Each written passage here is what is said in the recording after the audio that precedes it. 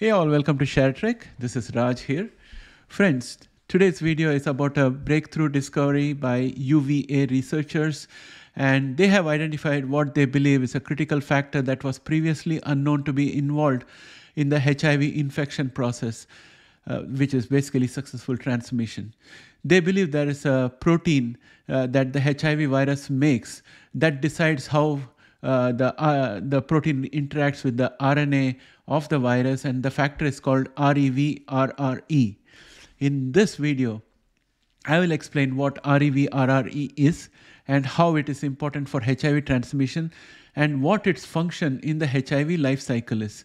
So uh, just to give you a simplistic um, uh, outline of what this is and what this is not. Here we are talking about a prevention strategy a strategy that would prevent a person from getting infected by HIV thanks to our understanding of REV-RRE. So that's the way you have to look at this uh, particular video. So with that said, I would like to get started, but before we proceed, I have an important announcement to make. Um, the Patreons will continue to get the HIV video as they get at this point of time. There will be no change to it. But all those who are watching the HIV um, uh, videos in this English channel out here uh, will uh, experience a change because um, over the end of the year, I have been thinking on how to make the experience good for all the viewers of this channel.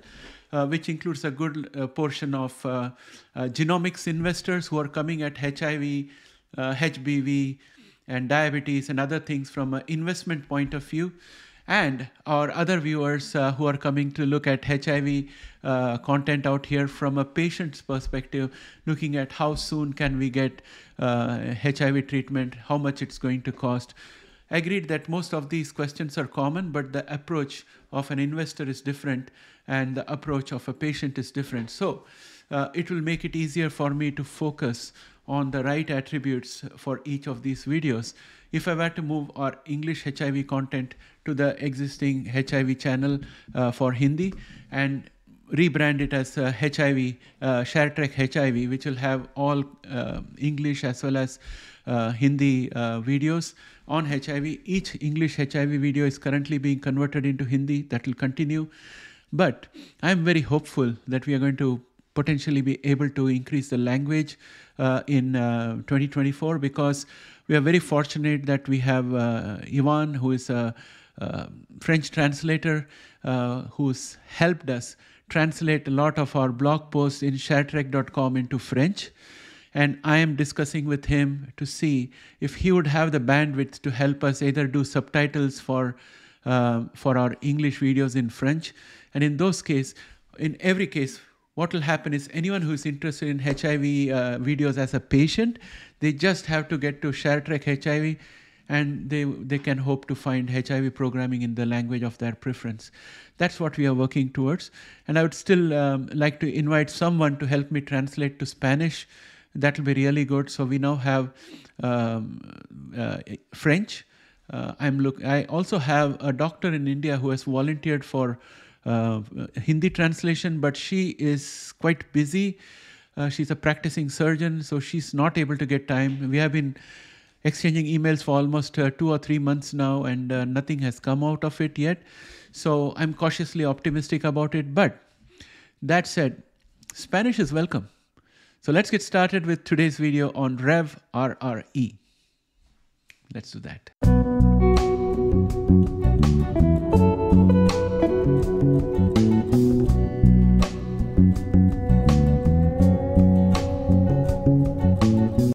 Welcome back, friends. As you have seen in all our videos on HIV so far, the strategy to defeat HIV is multifold due to, due to the insidious nature of the retrovirus, which embeds itself into the host DNA and manages to go dormant during ART cycles and then bounces back and loads the blood with a lot of new viral particles once ART is stopped. So, the first set of strategy was to find and kill the virus at its various life stages so when it's building a capsid, try to uh, sabotage the capsid building. uh, when it's trying to uh, use the GAG protein uh, to get into a CD4 T cell, come up with a broad uh, BNAV uh, to attach to the GAG protein so that it cannot get into um, the CD4 T cell. Uh, and um, those kind of strategies. Also picking up some anti antigens uh, from the HIV ca uh, capsid and creating antibodies for it in an effort to slow down HIV and damage it. So those are all the set of strategies that we used in the first set. And um, then we saw um, in the process that uh, we had uh, transcriptions inhibitors, uh, which would prevent the reverse transcription of the HIV virus inside the cell. So we have done a whole lot of things based on the various uh, stages in the life cycle of the virus, trying to disrupt it. The next set, uh, of strategies that we saw was the strategy of protecting the CD4 T cell by removing CCR5, which is what AGT103-T is trying to do. We also saw the strategy of cutting off the GAG gene from the uh, host uh, DNA uh, from the HIV virus and thereby making it ineffective in transmitting further. So that's another thing that we saw. We also saw short interrupting RNAs, which are used by AGT103 inside the CD4 T cell, modified CD4 T cell, to prevent any uh, reverse transcription. So those are all the methods that uh, we have tried so far. And um, the Rev RRE findings, in my opinion, will help come up with additional points in HIV replication that can be attacked as part of an uh, measure to prevent HIV spread. So it's more of a prophylactic, in my opinion, based on whatever I have understood by reading this article.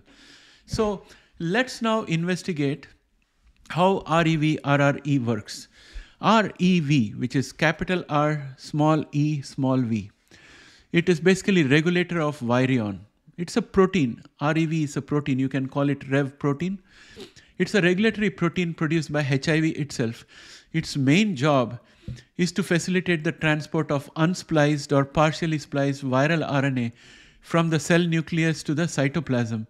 This is essential for the virus to replicate and produce new infectious particles.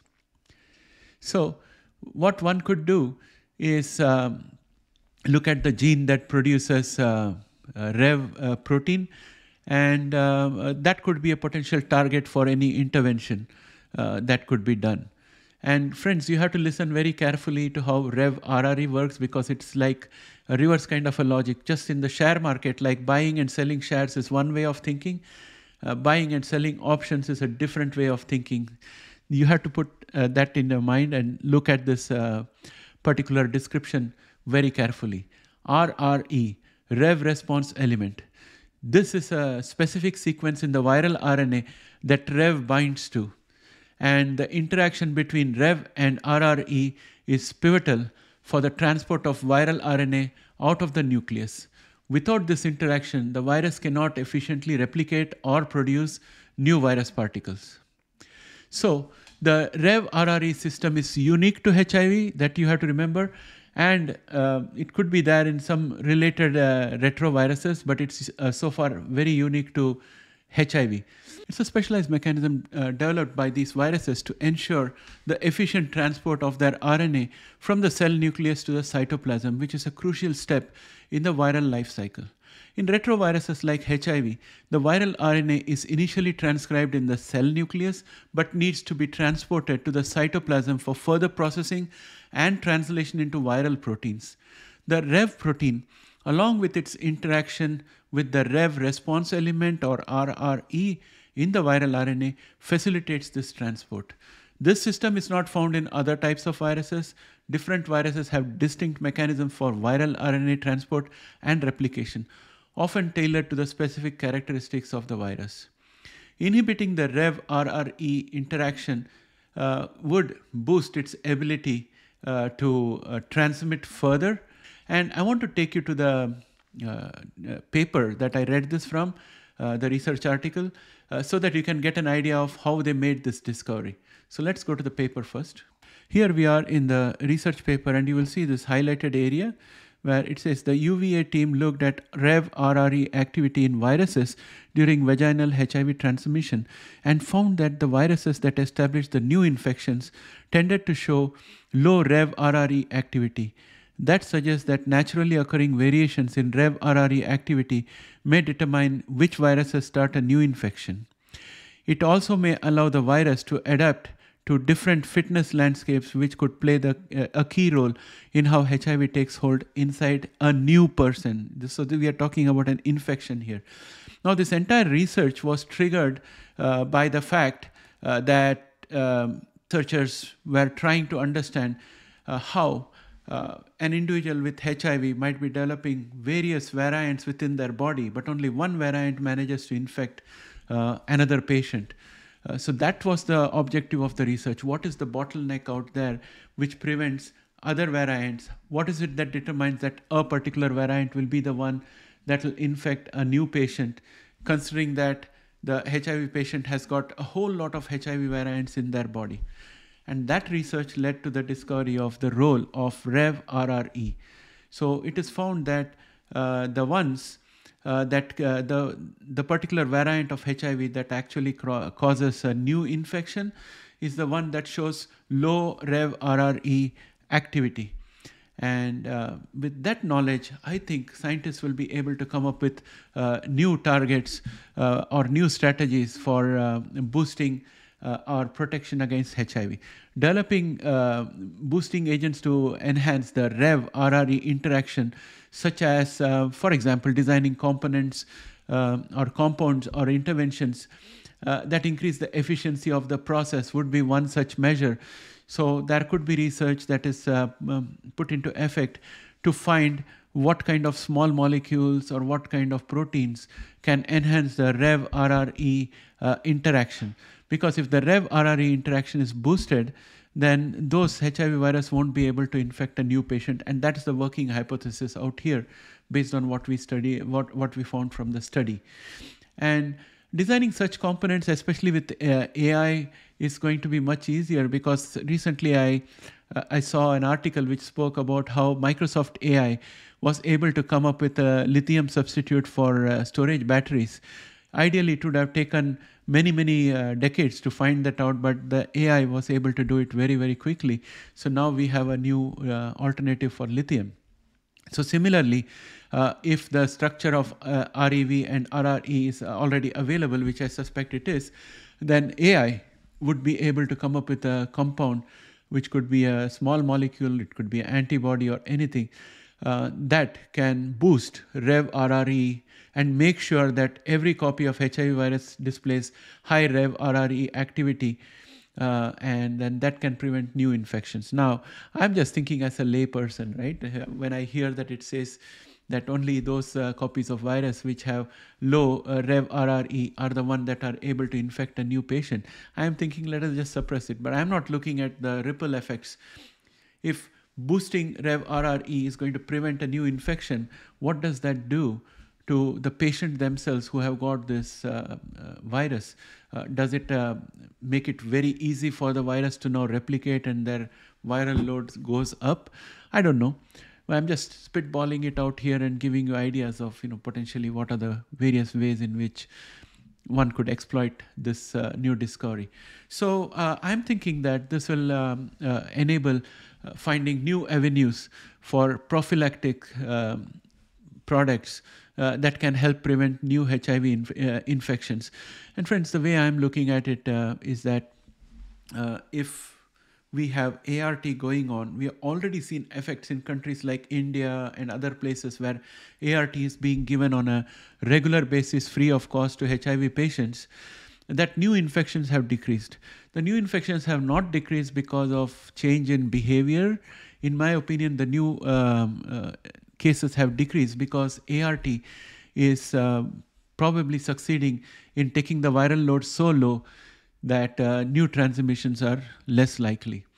Now, that said, if on top of that, if we had a prophylaxis like a gel or something, uh, which can be locally applied so that HIV uh, viruses, which are in that gel environment, uh, experience a very high level of uh, Rev RRE activity, in that case, all those viruses will be incapable of infecting the uh, new patient. So that's that's the way I am thinking. Uh, I don't know if this is going to come true, but uh, also another reason why I make these videos for you friends is that this is not a treatment. This is just fundamental research which has found information which will become the basis on which new therapies will be developed and clinical trials will happen. So this is very ahead of uh, the entire chain of creating a drug.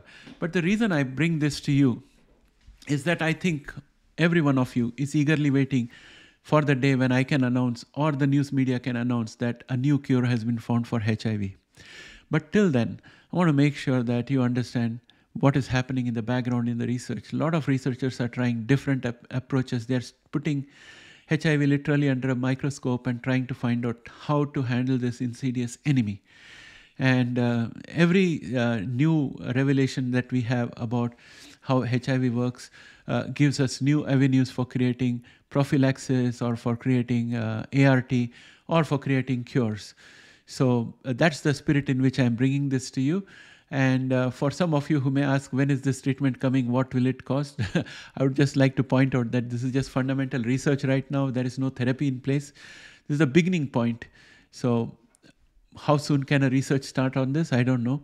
It will all depend on the motivation, the visibility of this uh, press article or research article in the community, and uh, new researchers who have got the money and the sponsors to get started with uh, researching on a prophylaxis using this uh, discovery. That's what I'm thinking. So, friends, I hope you liked this video, and if you did, uh, I would say that uh, you should not hesitate to press the like button because it helps the uh, channel with the YouTube algorithm. And you will also find a Patreon link in the description through which you can support our efforts for HIV content. And please do not forget, I'm working on moving uh, our HIV contents from this channel into the HIV global channel. I'll put the links in the next uh, video when I make the formal announcement uh, so that you can go there and become a, a subscriber and continue watching the same quality of video as you have right now. And that channel will be purely for HIV, so you can feel free to ask HIV questions anytime, and I'll take care of that. And this channel will then continue to remain a genomic investment channel. Thanks for your support so far and looking forward to your future support as well. Bye for now.